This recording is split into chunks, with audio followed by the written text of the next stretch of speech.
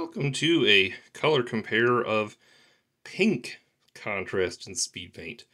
This is kind of a weird category because there's a bunch of kind of different options that kind of fall into other categories and we've kind of put them together into what I'm calling the pinks.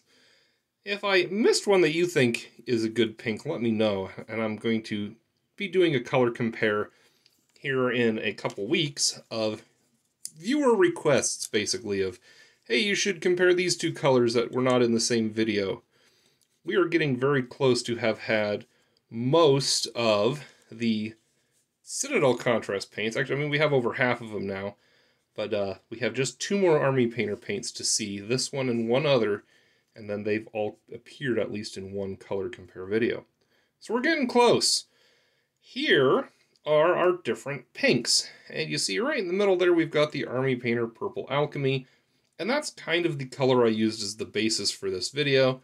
I said, okay, what from Citadel is close, and then how do the different Citadel options compare to each other?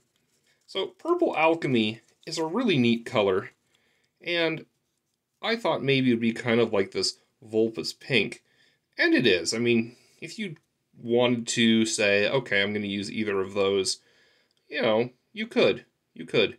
You could probably interchange those pretty freely, though they're just different enough that you might notice which model you put which on.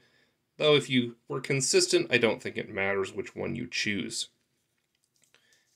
Then we also have this Doomfire Magenta. And Doomfire Magenta is another one of those colors that's very flat. The highs aren't so high, the lows aren't so low.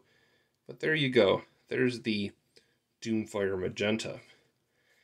To really kind of round this out, I also grabbed Magos Purple. And, you know, looking at that, it's in a way close to that Volupus Pink. But it's definitely lighter and definitely more on the purple side.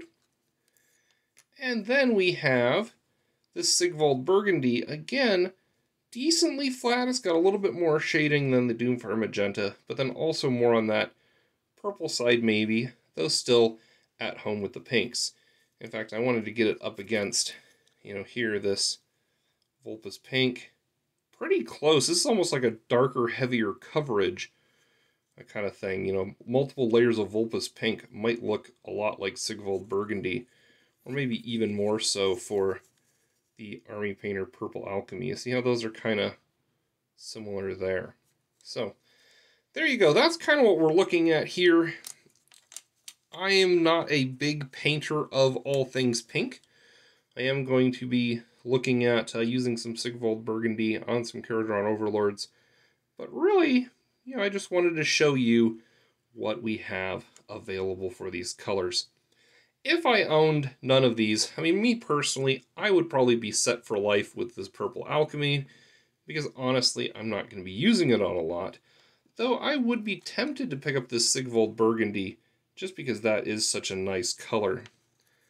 I'm not sad to have the Doomfire Magenta in my list here.